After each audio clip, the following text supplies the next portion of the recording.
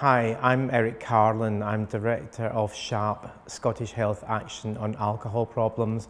And I'm delighted to introduce these films from young people which have been made as part of the FYFA, the Focus on Youth Football and Alcohol project, which is a project that's been funded by the European Commission. The focus of the project is on reducing underage drinking and heavy episodic drinking among young people across Europe. As part of the project, we've been filming young people to find out from them about alcohol and about sport, about how the two things interact to get their opinions on uh, alcohol and health and also to get their opinions on things such as alcohol marketing and whether or not it has a place um, in relation to sport and young people. One of the things that we've been trying to emphasise in this project um, is that we need to protect young people from alcohol harms. It's also really important for us to hear from young people themselves about what they think and about how we can best reduce their harms. What that means is that sometimes they will surprise us with some, with some of their insights. So we may not always agree with everything that actually that we're being told,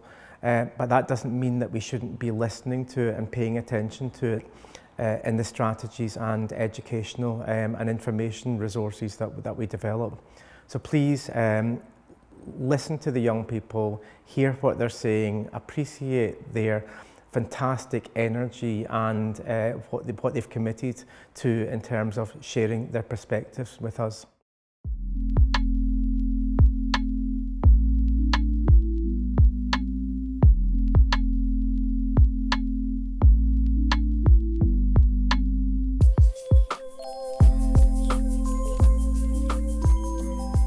Today I'm going to be talking about how being active and being linked within sports may give you an excuse or a lean way to stay out of trouble and not be in the way of alcohol and drugs. And this is important to me because I feel as if there's a lot of peer pressure within a lot of younger age groups who may feel the pressure to actually go in and start to drink or start taking drugs and being active can give them an excuse almost that their friends may or may not accept. I think it's mostly in friend groups that the people who start drinking underage don't really themselves want to do it, but they're pressured into uh, drinking by their friends. As myself, I'm a sportive person, so I don't want to get in those friend groups who drink and use drugs and like this. Uh, I think it's very bad for your health and in long terms uh, it uh, destroys your brain. If your friends are pressuring you into drinking, just don't drink, say no and maybe even leave from the friend group. Nie musisz robić tego, żeby się przed kimś popisać i nie musisz wziąć alkoholu, żeby coś komuś zaimponować, bo możesz odmówić i nikt nie powinien tego śmiać, bo to jest twoja decyzja. I also think that uh, people uh, who have the drinking problems and like this, if they want to stop drinking, for example, they can start any sport. For example, football, it's good to have fun and take your ideas and your mindset away from drinking and problems so you can have fun with your friends.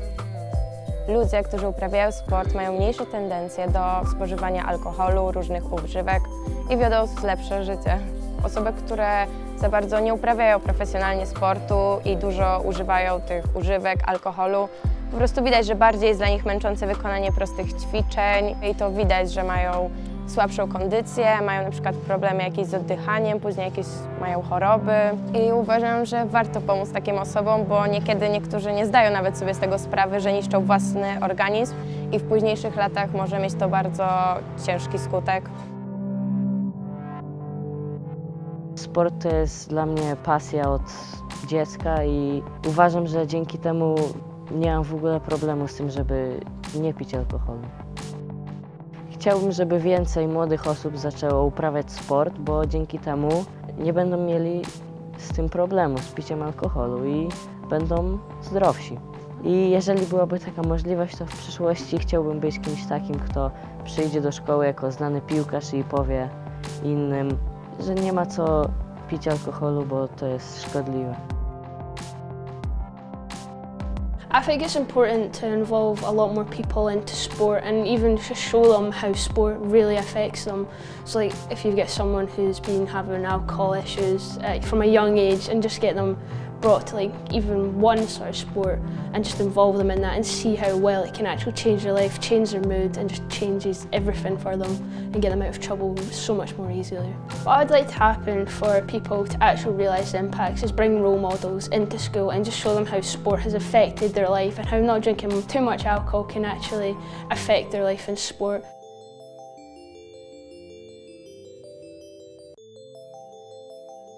Chciałabym porozmawiać e, o spadku świadomości, jeżeli chodzi o wpływ alkoholu na organizm człowieka wśród osób poniżej 15 roku życia, bo te młodsze osoby częściej sięgają po używki niż te urodzone w poprzednich pokoleniach. Jest to dla mnie ważne, dlatego że chciałabym, żeby młodsze osoby e, wiedziały więcej o tym, co może im się stać po wypiciu alkoholu i mogły świadomie podejmować swoje własne decyzje e, na ten temat, niezależnie od presji społeczeństwa. Byłam świadkiem sytuacji, kiedy osoba młodsza, około 13 lat, żeby zaimponować reszcie grupy, wypiła bardzo dużą ilość alkoholu w jednej chwili i omal nie przepłaciła tego swoim własnym życiem. Chciałabym, żeby wiedza na temat działania alkoholu na organizm człowieka była przekazywana we wcześniejszych etapach edukacji. Może wtedy młodzi ludzie zainteresowani piciem alkoholu będą wiedzieli, czym to może grozić i jaki może być tego skutek. Suomessa nuoret juo vähemmän alkoholia kuin ehkä parikymmentä vuotta sitten, mutta sitä silti tapahtuu ja nuoret testailee paljon ja haluaa kokeilla kaikkea, mutta musta tuntuu, että alkoholin juominen nuorten keskuudessa on kuitenkin laskenut tosi paljon. Nuoret ihmiset välittää paljon terveydestään ja harrastaa paljon liikuntaa ja ö, on tajunnut ö, alkoholin haittapuolet. Terveystieto alkaa koulussa 13-vuotiaana. Meillä on niinku koulussa vierailuja, mutta sitten meillä on niinku oppitunnillakin puhutaan alkoholista ja kaikesta muusta niinku terveydestä ja silleen. No siis musta se on tärkeää, että nuoret saa tietoa, että ne niinku tietäisi jotain alkoholin käytöstä ja sitten voisi ehkä niinku harkitakin sitä enemmän. Mä en halua ehkä lyödä alkoholia alaikäisenä, koska se voi vaikuttaa just urheilusuorituksiin ja niin, vähentää motivaatiota.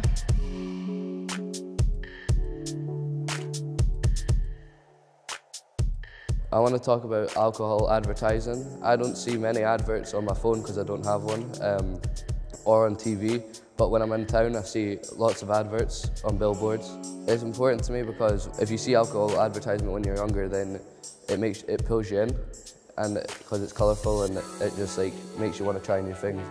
I want to change the, the alcohol advertising because they don't show the bad side of drinking alcohol too. I just imagine it happening by showing like the bad things that could happen to you after drinking alcohol or like what like the end result of it all happening is. Chciałbym, aby sprzedawcy zawsze prosili o pokazanie dowodu osobistego i aby na wszelkich wyrobach alkoholowych była pokazana osoba, która jak wygląda przed i po nałogu. Jest to dla mnie ważne, ponieważ w moim środowisku sportowym osoby, które palą i piją alkohol, mają gorsze wyniki. I want to talk about sports and alcohol and lowering the age of uh, drinking so the legal age could be 16 so everyone near enough my age are safe. I think lowering the age to 16 and this, the safety for going in pubs and stuff like that is so much better because when you're going out into forests and parks and stuff, it can get dangerous, you can get lost, you can hit your head and no one know. But in a pub, it's, it's social, everyone can see you and you're safe and not in the cold. I want all people my age and all the youths who are drinking and doing stuff like that, I want them to be safe, I don't want them to get hurt. Mä puhun tänään alkoholista ja miten se ei sovi mun mielestä ö, urheilutapahtumiin, sillä alkoholi vaikuttaa ihmisen ö, negatiivisesti, sillä se vaikuttaa ihmisen käytökseen ja, ja sitten tulee fanien kesken tappeluita ja sitten nuoret lapset voi pelästyä ja ni, niille voi tulla traumaa siitä tappeluista. Koska mä oon ollut joskus pallopoikana ja mä oon ollut fanikatsomoiden lähellä ja sitten kun on tullut maali, niin ne on voineet heittää mun päälle jotain juomia ja, ja sitten se ei ollut hirveän kiva ja vähän silleen jännittänyt, että mitä käy, kun ne on käynyt aika villinä siinä takana. Mun mielestä alkoholia ei pitäisi myydä tai pitäisi vähentää sen myyminen urheilutapahtumissa, ettei käy mitään tapaturmia tai muuta pahaa ihmisille.